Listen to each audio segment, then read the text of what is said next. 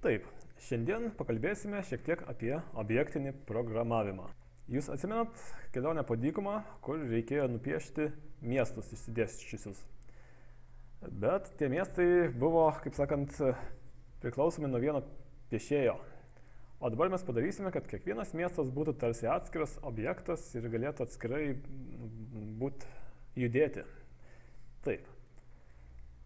Čia, kur mes juos piešime, šį kartą mes kursime pradžiai po naują pieštuką kiekvienam miestui. Nes dabar mūsų pieštukas e, atrodydavo tokia rodiklytė. Taip, ir čia galim parašyti. M, na žodžiu, tarkim, miestas bus lygu turtlio. Ką tai reiškia? Mes sukūrėm naują objektą. Atsit vežliukas čia yra, nes čia vežliuko grafika. Bet e, iš tiesų jis gali judėti ir piešti. Ir dabar tą M visur parašom, reiškia, kad jį, tas naujas miestas turi nueiti į tą vietą. Netgi nebereikia jokio dėti klecko, nes pats pieštukas matysis toj vietoj ir kad jis parašytų numerį. Na gerai, pabandom, kas čia per mistiką. Va, matote, kiekvienas nukeliavo į savo vietą ir ten tupi. Dabar būtų smagu, kad galima jiem ką nors būtų padaryti.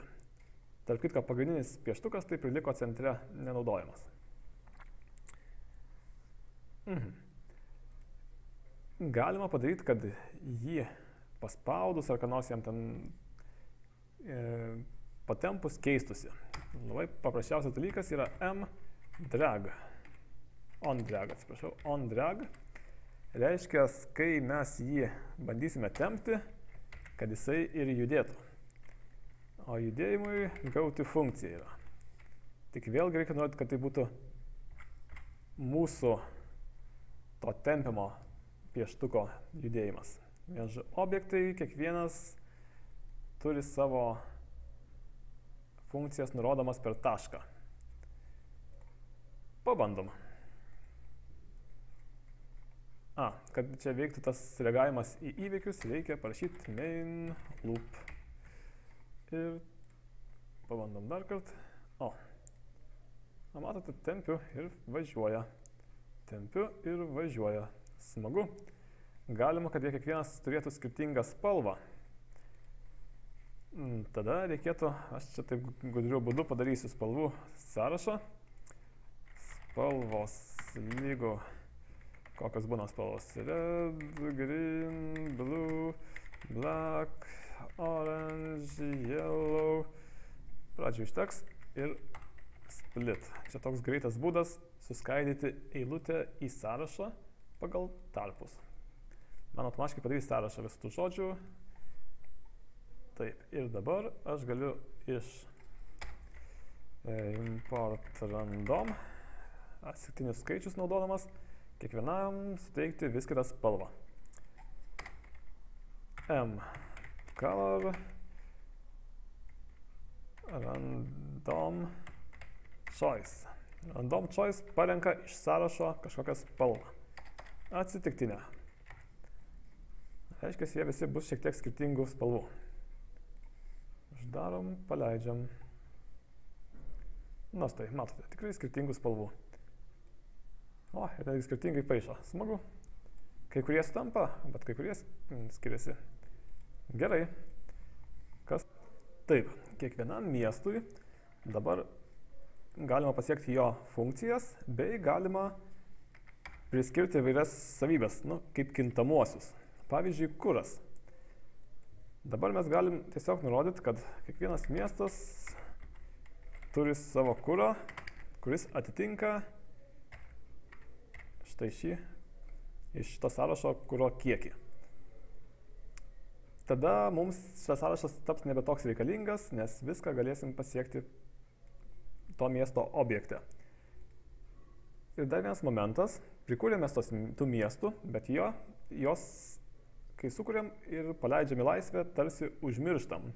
Tai yra programoje nebeaišku, kaip juos paskui būtų galima visus perrinkti. Todėl mes sukursime miestų masyvą. Miestai, sąrašą atsiprašau. Taip, miestai bus sąrašas ir kiekvieną sukurtą miestą mes įkelsime į sąrašą. Tiesiog miestai append m. Kol kas tai esmės kaip ir nekeičia, bet paskui mes galėsime cikliuką prasukti ir tuos miestus nu, kaip nors pareguliuoti. Mm, galima padaryti, kad pats miestas žinotų, koks jo numeris sąraše. Pavyzdžiui, miestas, taškas numeris, lygu i. Jam tiesiog bus lengviau gyventi, saugiau jausis, kai žinos, kalintas jis yra. Ar viskas veikia? Veikia. Čia viskas paaišosi. Smagu. Dabar pagalvokim. Gerai, kad būtų šiek tiek tokia nauda iš tų miestų masyvo, pažaiskim. Atsimenat, kai paaišėm žaibus, buvo on click, on screen click, screen click, susijęs su go-to metodu pagrindiniam pieštukui. Tai yra dabar, kai paspaudžiam kažkur, pagrindinis pieštukas nukeliauja. O mes norėtume, kad visi miestai pajudėtų tuo pačiu atstumu kaip tas pagrindinis mūsų pieštukas dabar spustelėjus bet kur ekrane. Tai mes padarysime, kad jį perkeltų ir taip pat perkeltų visus likusius miestus su cikliuku. Todėl turėsime sukurti naujesnę funkciją def all to x, y, reikiant, kad koordinates jis priimtų. Ir tada start x start y bus pradinės pos, position reiškia pradinės koordinatės, pagrindinė pieštuko ir kai mes paspausim, jis aišku nueis į naujas koordinates, bet dar mes paskaičiuosim skirtumus. dx lygu uh, x minus start x. O, taip lengviau kažkaip rašyti, bet netaip aiškiai matosi. Na gerai dy lygu y minus start y. Ir dabar kiekvieną, taip čia bus all to, kiekvieną miestą irgi pernešim for m in miestai. Galima sąrašą perinkti tiesiog įmant iškart po reikšmę iš sąrašo, šiuo atveju reikšmės bus miesto objektai miestų. Taip. Ir galima čia nebūtinai M vadinti, kad ir A. Ir sakyt, aha, o kaip čia perkelti dabar reikia? Irgi start X, start Y jo pozicija pradinė, duoda X ir Y. Ir nueisis į naują vietą, kuri bus pradinė pozicija plus dx sy plus dy. Nu, čia matematiškai ant geometrinės plokštumos tiesiog galima viską įsivaizduoti ir gal net veiks. Čia jau susijęm su nauja funkcija. Pankšt. Net labai. Global name xy is not defined. Kažko čia pasiskundė. A, xy prašiau. Atsiprašau, start y. sustabdom čia arba uždarom ir paleidžiam dar kartą. Uiuiui. A, vaikščiu dabar mums gautų, tai padarėme pagrindinę pieštuką. Matote, jis perbėga per visas naujas pozicijas busimų miestų, nu, esančių miestų busimas pozicijas, nes kai kas apsidžioplino ir čia neparašė, kad kiekvienam tam objektui miesto ėjimą darytų. Žiūrėkit, kaip fainai. Punk, Taip biški kažkaip akise mirga, bet visai smagu. Štai, tada kiekvienas objektas elgesi individualiai. Aha, kad nebūtų taip čia mirga marga, padarom, kad jis persikeltų pakėlęs uodegą, nepieštų nieko. Tuomet būtų gerai, kad mes matytume jo numerį kiekvieną kartą. Galima tą numeriuką, kuris buvo pradžiai parašęs, ištrinti, clear, visus tos write komandos rezultatus ištrina ir naujo vietai parašo a write nr. nr, štai čia. Jis gavęs yra savo numerį ir dėl to kiekvieną kartą persikėlęs į kitą vietą vėl parašys savo numerį. O, oh, klaida. Global name nr. Atsiprašau, reikia parašyti a taškas nr. Čia sustabdom. Gerai, sustabdėm. Ir čia pas mus visas įdomumas. Mm. Taip, čia buvo jis A nariai, o čia M nariai. Dėl to, kad mes objektą turėjom kintamajame M, o čia tą patį objektą turim kintamajame A. Viskas kintamieji. Nagi, važiuokit. O, važiuoja visi. Kad greičiau važiuotų, aišku, reikėtų jiems padidinti greitį. Greitį padidinam su speedu. M speed 0. Kaip matot, šitam faktiškai cikle mes visas pradinės reikšmės jam duodam, tarsi in, inicializuojam į objektus, o paskui jau galim jais manipuliuoti. Va, kaip smagiai skraido paukščiukai pavasarį. Gerai. Taip, dabar visi tampami kartu, bet mes juos galim kiekvieną tampyti tarsi atskirai. Ai, dabar čia viskas susipainėja. Aš Atsimenat, pradžioje kiekvieną atskirai tampydavau.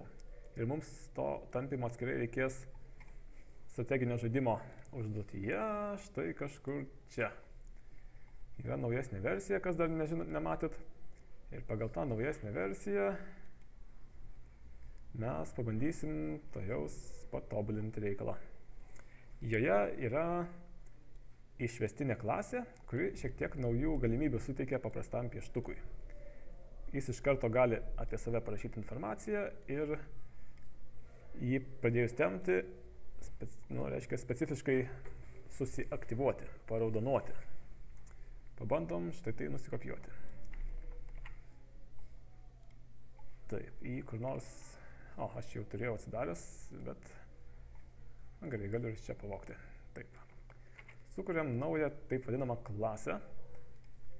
Ir ta klasė Tai gali būti bet kur, kad ir pradžiai.